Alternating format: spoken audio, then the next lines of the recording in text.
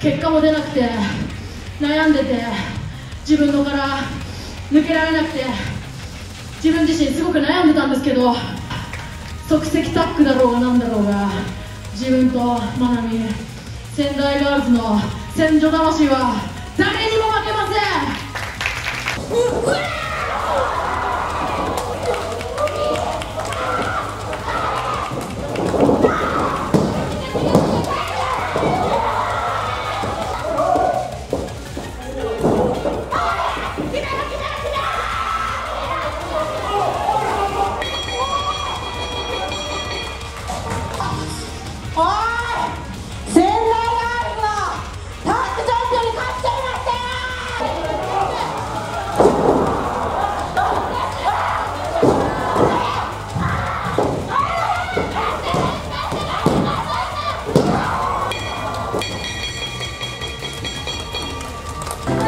アンドラス宮城組が新王者組となります。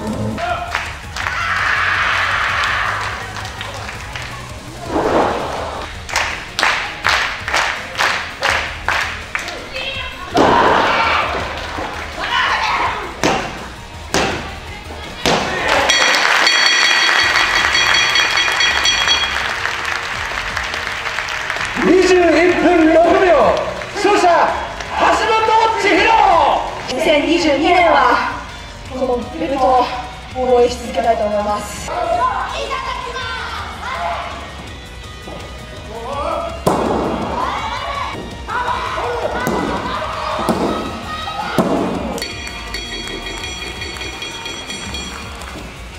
ノンタイトルで試合したことを覚えてるか？その時そのベルト持ちながらバックチャンピオンとしながら負けた悔しさ一秒たりとも忘れたことないんだよ。そのベルト私とまなみで挑戦させろ。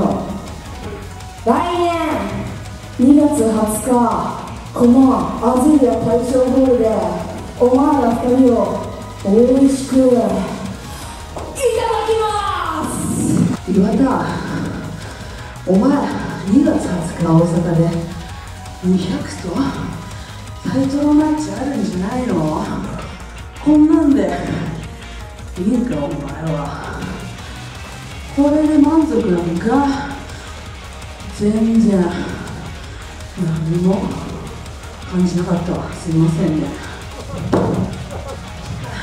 こんなもんじゃねえんだよ。あ？まず2月。チーム200キロとタイトルマッチまなみと岩田でしっかりとって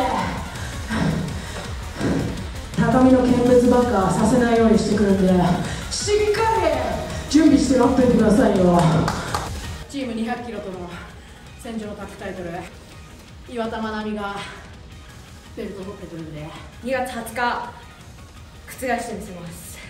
必ずベルト取りましょう。एग्जाम आराम है एग्जाम